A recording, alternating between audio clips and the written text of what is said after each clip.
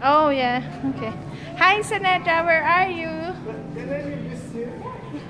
Xenedra, welcome. Welcome to Xenedra and Dan's Adventure. Today we're at today we're at Grand Forks and and we're going and we're in the hotel. Come on, let's, let's Let's go. I call him daddy from now on. Go run, go run. Stay with Tito. Come on.